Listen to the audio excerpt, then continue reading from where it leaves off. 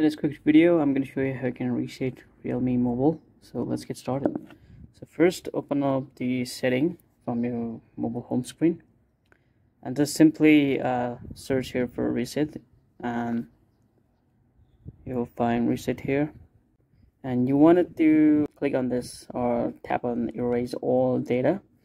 So this will do like factory reset. Okay, so just tap on that and erase all the data and there you go. Now it's gonna erase all the data. And there you go. It's booting up. And now it's raising right now. You can see that. So now it's booting up. And it's gonna show you hello screen. So just tap on this arrow button click and continue. You can skip or you can uh, input your country name here. And then you can just uh, tap on this thing and continue. Now connect to the Wi-Fi. Then simply tap on connect button.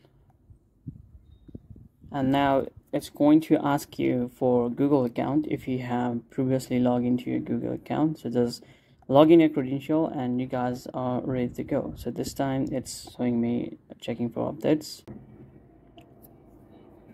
and I want to click on done copy.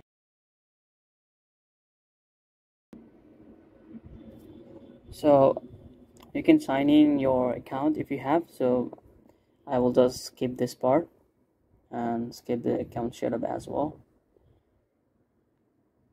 And you can uncheck this send usage and diagnosis data because this might slow your device down. So click on accept.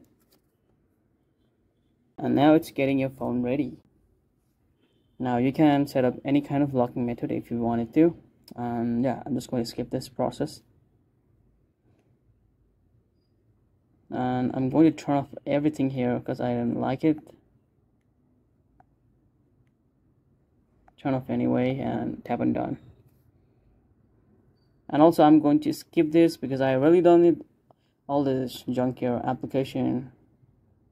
So skip this.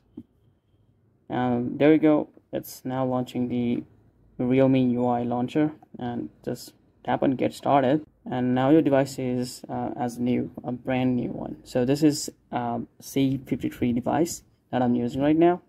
And this is how you should reset your phone. So if you guys are stuck on anywhere let me know in comment and i will try to help you. Out i hope this video helps you out and see you guys in the next one. Peace